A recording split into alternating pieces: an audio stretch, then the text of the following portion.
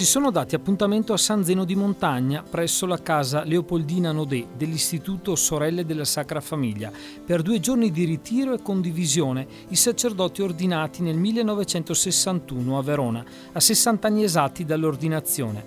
Non tutti erano presenti, qualcuno è già in cielo, altri erano assenti per motivi di salute. È stato comunque un momento speciale di preghiera e fraternità per fare memoria di un dono grande come la chiamata di Dio il sacerdozio vissuto per i fratelli. Li abbiamo incontrati per fare memoria e attingere dalla loro esperienza vissuta nei tanti incarichi svolti lungo gli anni. Ne ho avuti parecchi e ho girato l'Italia, perché appena ordinato sono stato due anni in piccolo seminario qua a Verona e poi sono andato a Parma, Battipaglia, Salerno, poi sono tornato a Roma, poi sono andato a, a Parma, sono andato a Pavia, quindi ho fatto educatore di seminario, educatore nei collegi, un collegio di orfani in Auli quei tempi, curato in parrocchie, quindi con la catechesi, catechisti e tutto il resto, viceparroco parecchi anni a Roma e poi parroco a Pavia da 12 anni. E adesso sono qui a Verona da parecchi anni ormai. Pensavo di andare in pensione, invece sono ancora qui. È in un posto spettacolare e santo, il Santuario Madonna di Lourdes. Che esperienza è questa?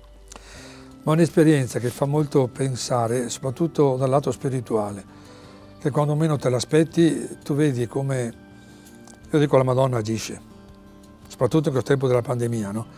Nonostante tutto c'è sempre stato un movimento di persone, anche persone non conosciute. Ho visto ultimamente famiglie con i figli che vengono, pregano, domandano di confessarsi. Mi è rimasto impresso, sarà un mese fa circa, un signore, stavo per chiudere la chiesa la sera e mi confessa, ci dico, prego, siccome di qua, si è sfogato, aveva dei problemi, poveretto, mi ha abbracciato alla fine, io piangendo, sono rimasto, eh, sono cose che dici, Signore lavora. Eh. Tornando alle origini della vocazione, perché proprio Stimatino? Non lo so neanche io. Dunque io andavo a scuola a San Pietro di Lavagno, c'erano, quinta elementare, dei chierici stimatini che venivano, non so far che San Pietro, forse un po' di catechismo credo, e durante l'intervallo della scuola uno mi si è avvicinato e mi ha detto ma ti piacerebbe studiare?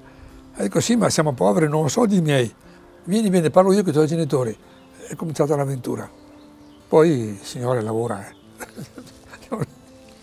Cosa ricorda con particolare gioia o attaccamento di tutti questi anni?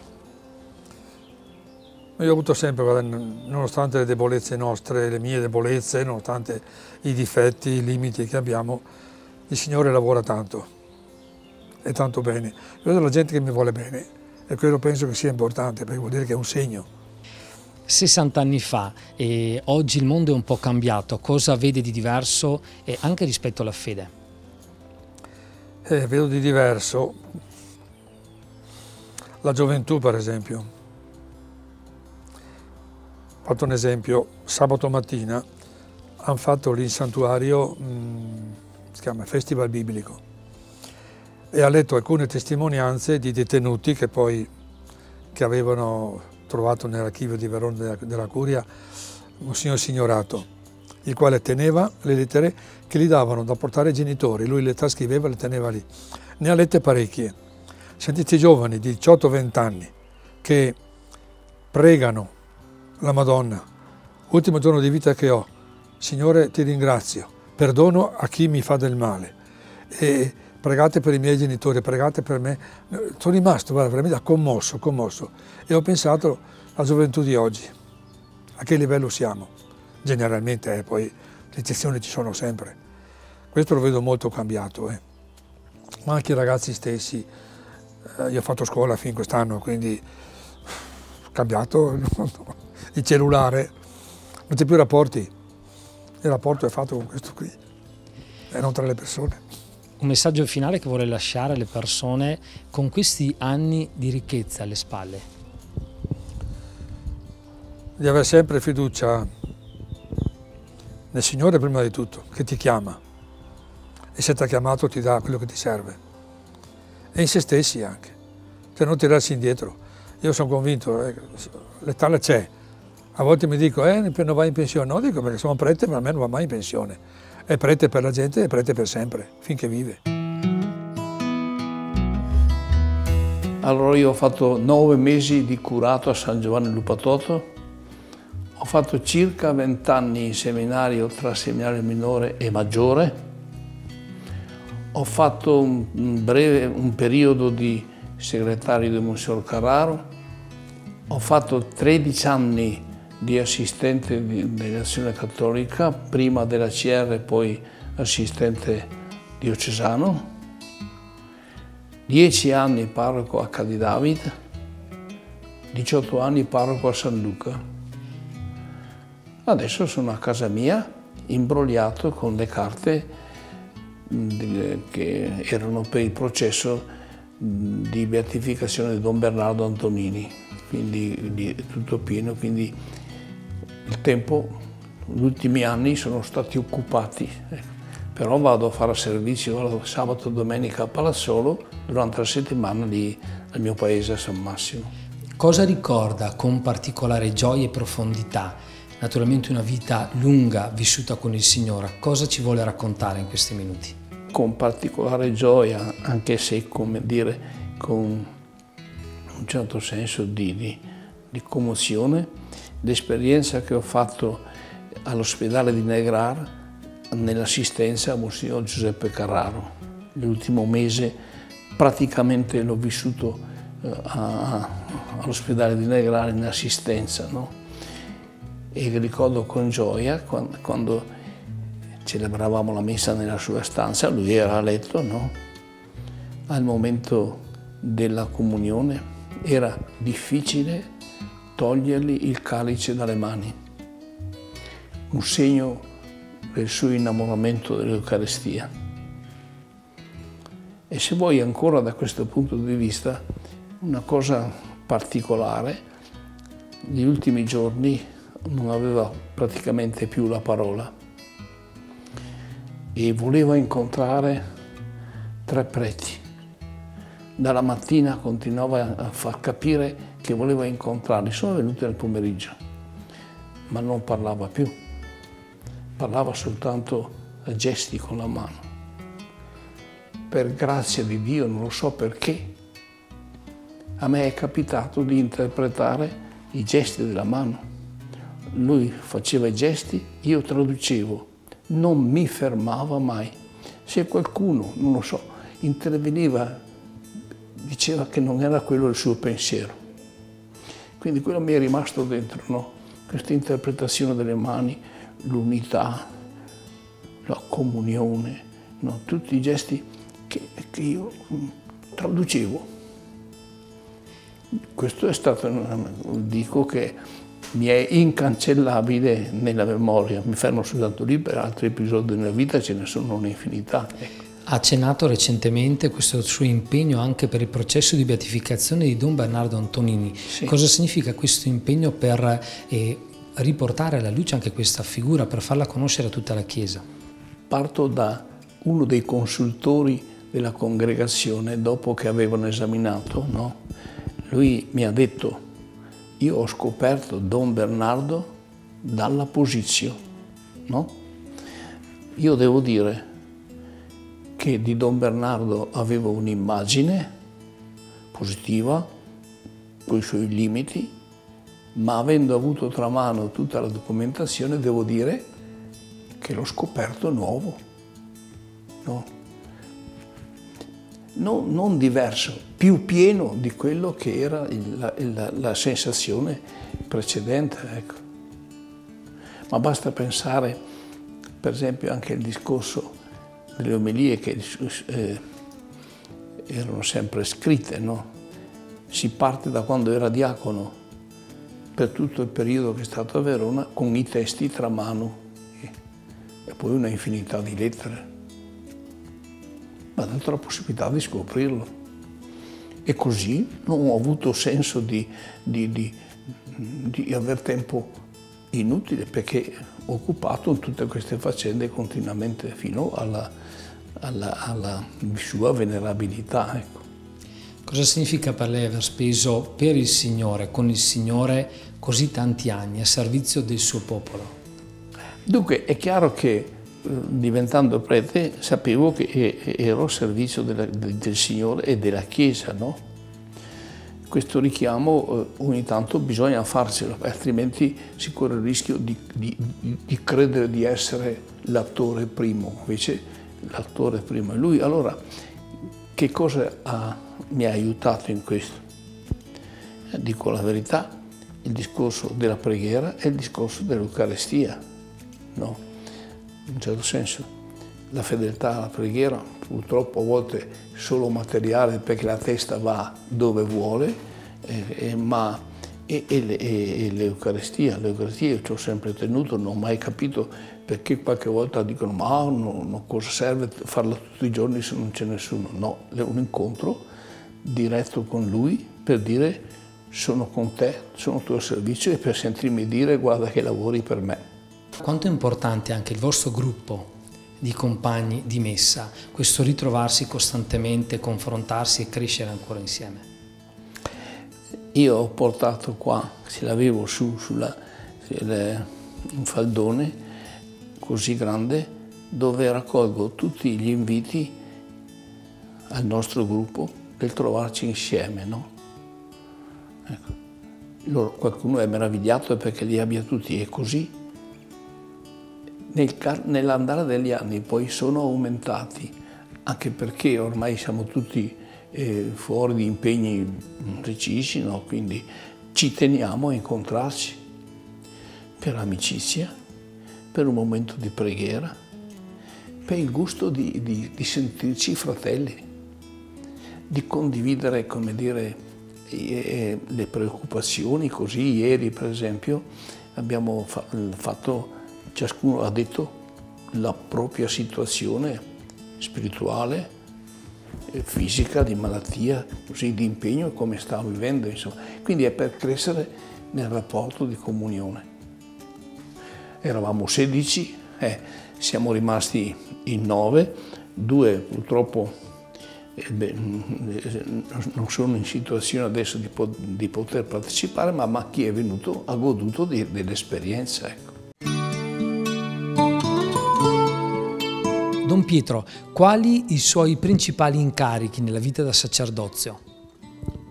Tutti, beh, dai, ho cominciato a fare il curato a Cadidavid dal 61 al 62, in Duomo dal 62 al 66, seminario minore di San Massimo dal 66 al 77, eh, coparroco diciamo, a San Massimo dal 77 all'80, parroco di San Luca dall'80 al 93,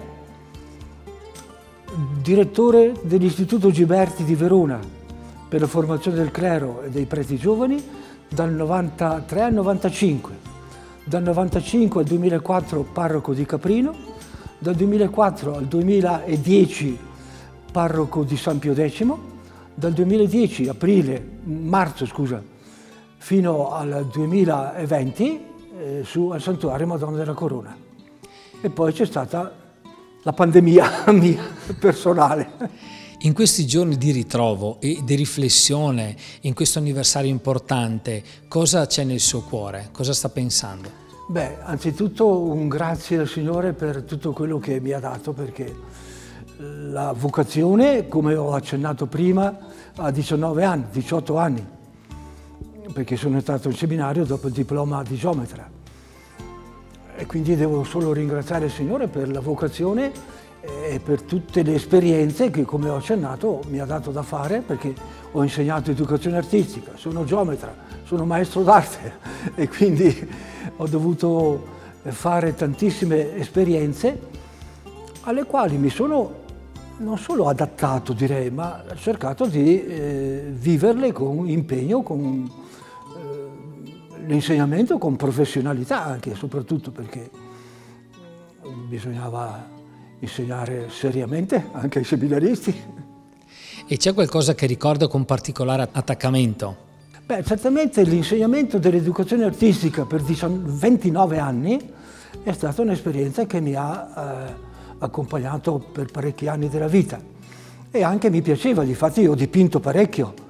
Io ho dipinto parecchio, ho lasciato i miei quadri su alla corona, ehm, pochi li ho dati ai miei parenti, eh, alcuni sono nella cappella, scusa, nella scala santa del santuario della corona ci sono dei miei quadri fissati là. E questa esperienza di dieci anni, non pochi, in questo santuario, forse il più conosciuto a Verona? Beh, è il santuario più importante della diocesi, alla quale arrivano da tutto il mondo.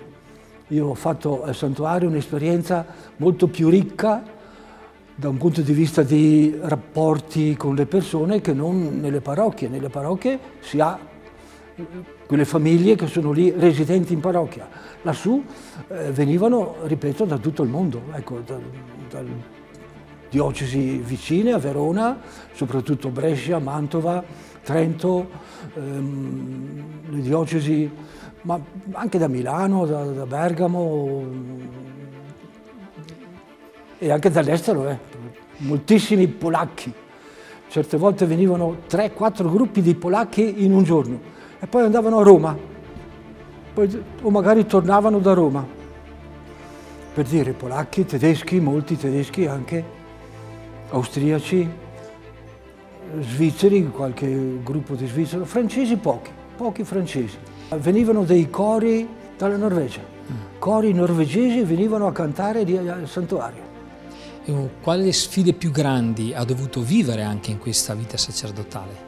Beh, certamente le sfide da un punto di vista anche della salute, eh, perché non sono mai stato un, di ferro, anche se Don Martino mi dice tu sei inossidabile. Ma, eh, poi ultimamente, dopo che sono caduto su al santuario, svenuto sulla, sui gradini del tabernacolo, eh, ho preso l'emorragia cerebrale, le vertebre cervicali danneggiate, doppia vista, eh, il Covid che mi hanno trovato, eh, due mesi di ospedale non li avevo mai fatti in vita mia, ecco, quindi è stata un'esperienza eh, che mi ha un po' anche... Eh, sono calato 10 kg, poi li ho recuperati, però ecco, per dire, per quanto riguarda la salute. Per quanto riguarda le persone, eh, San Luca in centro città con un giro di poveri continuo, eh, qualche volta mi ha impegnato anche a gestire questo rapporto con questa povera gente. Un messaggio finale, dopo così tanti anni di vita sacerdozio, guardando comunque al domani sempre. Sono a Caprino ad aiutare come celebrante, confessore, eh, vado nelle varie parrocchie perché Caprino ha quattro parrocchie Caprino, Pazzun, Lubiara e Pesina. Quindi vado anche nelle parrocchie.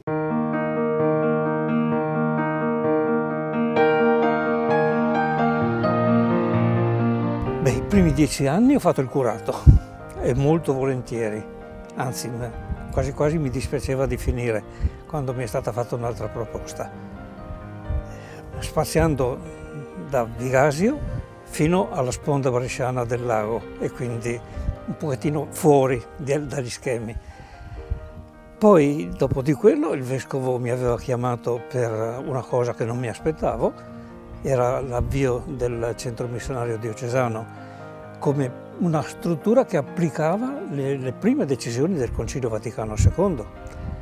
Quindi una cosa imprevedibile, imprevista, che si doveva inventare e l'abbiamo inventata insieme, anzi l'ha inventata lui più che me perché se quel giorno del 13 di dicembre del 71 io avessi potuto registrare quello che mi diceva, credo che una buona metà di quello sarebbe ancora da realizzare per, per, la visione che lui aveva della situazione della Chiesa in quel momento e anche dell'evangelizzazione, non solo dell'evangelizzazione all'estero, dell'evangelizzazione del nostro mondo nel quale stavamo vivendo in quel momento che lui diceva che era già in trasformazione e dopo noi l'abbiamo capito più tardi probabilmente. L'aspetto missionario che poi è diventato una caratteristica molto importante per la sua vita da sacerdote. Sì, ma ecco, più che l'aspetto missionario era il tentativo di capire il senso della parola della missione, cioè dello stile da imprimere nella Chiesa che era quello che Lumen Gentium, Gaudium et Spes, eccetera, avevano detto, anzi Optata Antotius soprattutto, che era il documento sul quale ha lavorato molto Monsignor Carraro per la formazione dei presbiteri. E allora a quel momento io credo era tutto da inventare, no? per quello che dicevo, se io avessi potuto registrare una cosa che non sapevo, non sapevo cosa mi avrebbe detto quella mattina, quindi poi, credo che molto di quello sarebbe ancora in fase di realizzazione. Insomma. Poi le sue esperienze missionarie sono state importanti. Quella, eh, ma quello è stato il secondo aspetto, no? perché noi fin, fino allora pensavamo alla missione come qualcosa che è al di fuori mentre lui insisteva, ricordo che la mattina nel dire guarda che la missione la dobbiamo creare qui, creare, era la parola che mi aveva un po' impressionato, dico creare, io che non, non, non, ho nessun titolo particolare, è una cosa che dobbiamo creare, ma dice, ecco, e allora, nella spiegazione a un certo momento mi dice ma mi segui? Dico sì, ma non ho mica capito tutto, bravo, dice, così lascerei spazio anche allo Spirito Santo, è stata la sua risposta, quella che mi ha buggerato poi. E quindi lei dove è stato poi in missione? Dopo, no, in centro missionario sono stati 15 anni di lavoro, no? Dopo di quello, proprio una piccola parentesi in parrocchia a Ciarea e poi 10 anni in Guinea-Bissau con Monsignor Ferrazzetta, che a mio modo di vedere, allargo un pochettino il discorso, ma non è distante dalla linea eh, dei grandi missionari della Chiesa veronese io sì, posso ricordare il Comboni, ma prima ancora il Mazza, prima ancora il Don Vinco e poi tutti quelli che sono seguiti, Bertoni e compagnia. Il Ferrazzetta non è fuori squadra, credo che in ordine di tempo è l'ultimo, però è quello col quale poi ho vissuto dieci anni, avendolo seguito anche prima e dopo dei dieci anni, insomma, quindi per me davvero è una figura grandissima da mettere alla pari delle altre della Chiesa missionaria di Verona. Il suo abbandono nella missione, nell'aspetto missionario, sicuramente ha dato tanto alle persone e ha dato tanto anche a lei. Ha dato sì, io penso di sì, perché eh, mi ha messo dentro alcune cose che forse c'erano poi in radice, che avevo recuperato durante gli studi della teologia, eccetera però finito gli studi di teologia è diventato prete, lì c'era subito il concilio che partiva, subito dopo, e lì ha cominciato a sconvolgere tante cose che avevo in testa, che avevo nel cuore.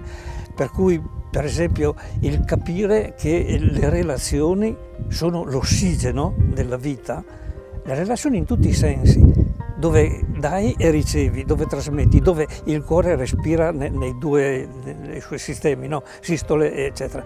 Ecco, quelle cose lì sono venute da sole. Nel momento in cui cominci a camminare in un modo un pochettino diverso perché costretto dalla situazione nella quale ti trovi, eh, a un certo momento scopri che ci sono dimensioni diverse, che ci sono anche orizzonti diversi, che ci sono stili diversi sui quali muoverci, perché l'obiettivo era quello da prete, quello di dire il Vangelo va annunciato a tutti, quelli che ho vicino, quelli che sono lontano, devo trovare i modi adeguati. È bello adesso pensare, eh, arrivando ad un punto, un anniversario così importante, eh, riflettere su quello che è stato. Ecco, quali sono le principali riflessioni che sta facendo in questi giorni dentro di sé?